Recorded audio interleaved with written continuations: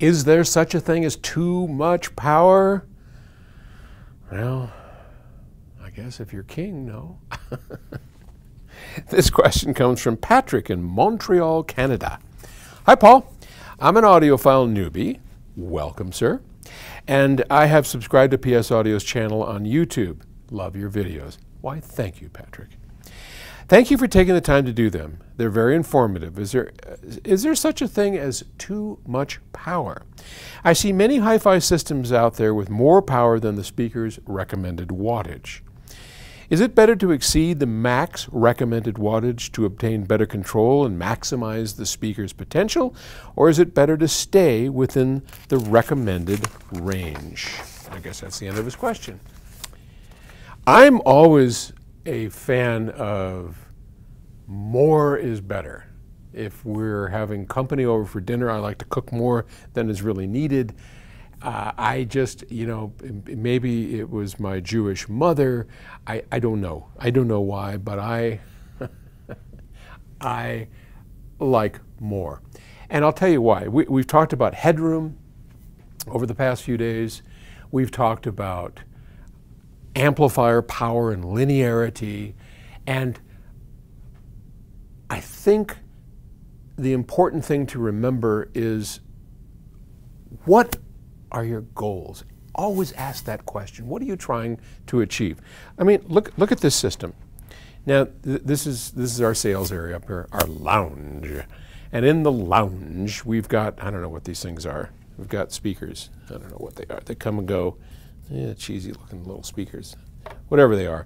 A, a lot of times, you know, when you trade stuff in, um, and we've talked about this before, we give you full retail for your trade. Like these speakers were traded in. Somebody traded these speakers in. Most of them go over to the music room and they get cleaned up and photographed and sold and given good homes. And sometimes uh, the guys look at it and go, hey, I'd like to hear those speakers. So they wind up here. And that's a real good home. And they'll stay, and if they like it, they stay, and because we're always playing music. Yeah, just, yeah, that's what we do, right? It's a cool place. Um, these speakers, I, I don't even know what they are, but they are not going to take a lot of power. And, and we, we have a, a, a, sprout. I mean, this is an odd combo, right? You've got a DirectStream DAC uh, and a sprout. And so I don't know what they're doing. They're, they're playing around here. The point being, I would, if those are my home speakers, and if I were critically listening or using those to evaluate things on or to enjoy or to crank them up, I'd put as big an amp as I'm able to afford.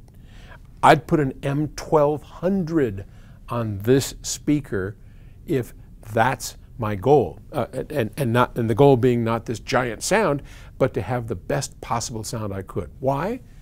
Because of linearity.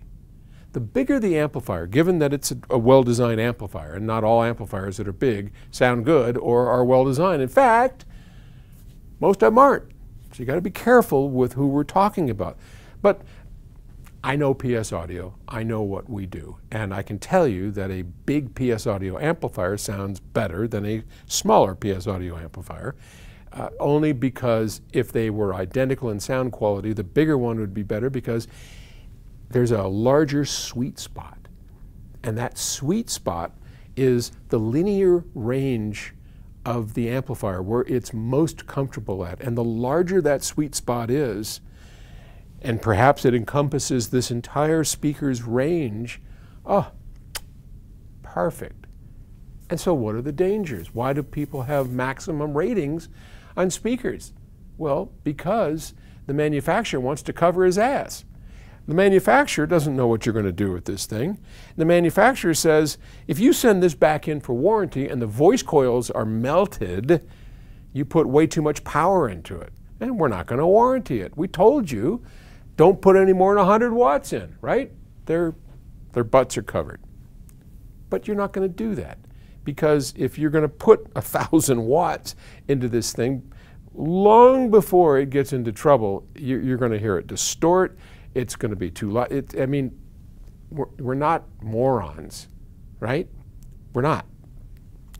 You wouldn't be watching this if you were. So if you're not going to do moronic things, uh, then you're perfectly safe because, and we've talked about this before, for a given volume level, if I'm playing this speaker at a reasonable level or even a, a, slightly loud level, the number of watts it takes to get to that level is identical regardless of the size of the amplifier.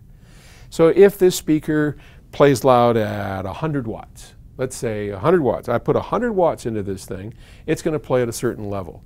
If I do that with a 1200 watt amplifier, or if I do that with a 120 watt amplifier, the watts are still 100 watts, and it doesn't matter if it's a 120 watt amp or a 10,000 watt amp. It doesn't matter.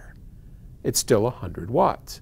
The difference being, if I have a 100 watt amp and I'm playing 100 watts, I'm close to clipping, and it's not going to sound good. Or I'm, you know, let's call it 120 watts. You're right at the tippy top there.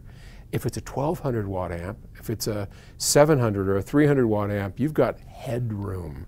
You have a broader sweet spot. So that 100 watts is going to sound a lot sweeter with a big amp than it does with a smaller amp, given a good designer did the amplifier design. Okay, hope that helps. Talk to you later. Bye.